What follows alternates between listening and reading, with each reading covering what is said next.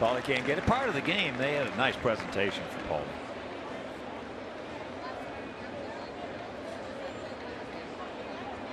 And presented by none other than the captain. One from one captain to another.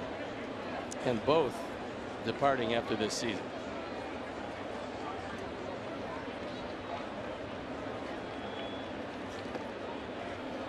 And here is that presentation.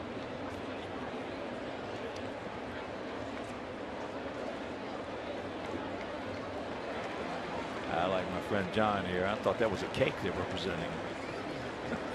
What it looked like. Looked like it for a second, but I think it's first base. It and, is. And I'm not sure what the writing was on top, but there was a lot of it. So it was signed by the entire Yankee team, and that will be something that'll go into the trophy case or the mantle. Paul Konerko back in Scottsdale. Uh, he's got a few mantles back in that He's home in Scottsdale. Yes, a few. A few. Greg Gibson, the home plate umpire, motioning to both players.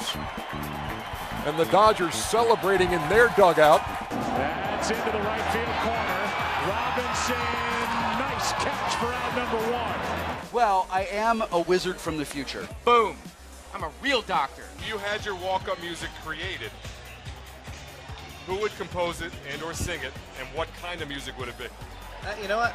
That's a good question.